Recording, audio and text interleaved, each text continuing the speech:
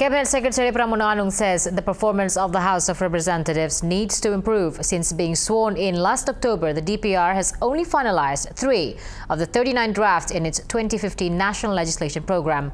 Pramono says he hopes the House can improve its performance as passing legislation is one of its main functions.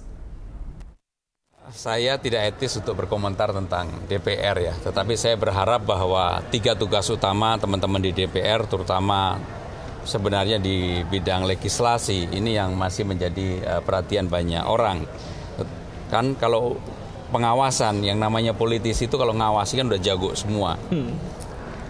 Budgeting itu juga menurut saya udah jago lah. Tetapi persoalan legislasi dengan jujur saya harus mengatakan bahwa ini harus diperbaiki bersama antara pemerintah dan DPR karena uh, achievement atau apa uh, legislasi yang dihasilkan per kuartal atau per semester ini tidak sesuai dengan target legislasi.